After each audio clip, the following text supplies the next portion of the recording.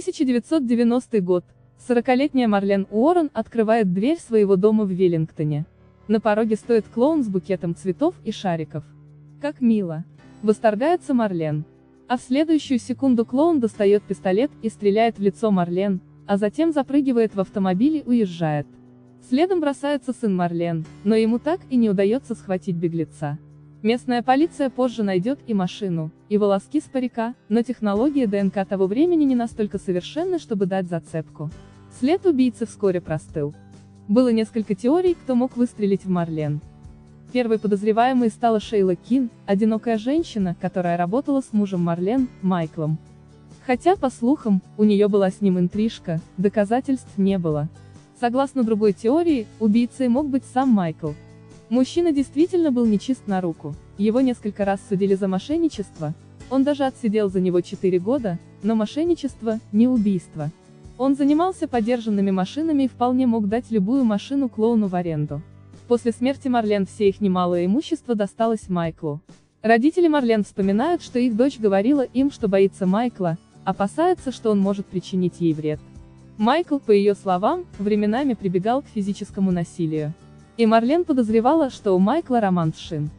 Один из работников Майкла вспоминал, что босс говорил, что хотел бы избавиться от этой суки и желал бы, чтобы никогда не быть на ней женатым. А еще он будто бы говорил кому-то по телефону, я покончу с этой сукой после смерти Марлен полиции удалось установить, где убийца купила цветы и шарики. Продавцы супермаркета сказали, что кажется видели Кин, но никто из них не был уверен. Соседи указывали на Кин, она действительно одевалась клоуном и развлекала их детей, а также нередко навещала супермаркет. Убедительно. Недостаточно, чтобы упечь человека за решетку. Неопровержимых улик, подтверждающих вину Майкла или Шейлы, ты не нашли. А это значит, что они остались на свободе. А в 2002 году, 12 лет спустя, Майкл Уоррен и Шейла Кин сыграли свадьбу. Тайную в Вегасе, где Шейла превратилась в Деби Уоррен. Шейла и Майкл отрицатели тот факт, что у них был роман. Парочка открыла ресторан и в целом жила обычной жизнью.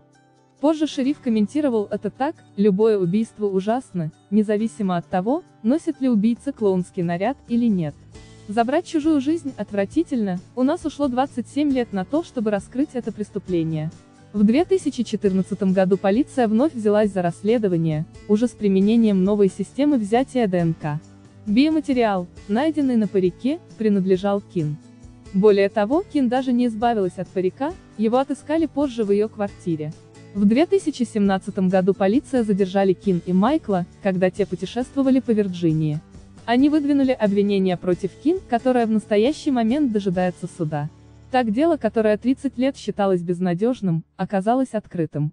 Множество дел, которые раньше считались холодными, в наши дни открывают заново, благодаря новым технологиям удается вычислить такие детали, которые невозможно было узнать раньше.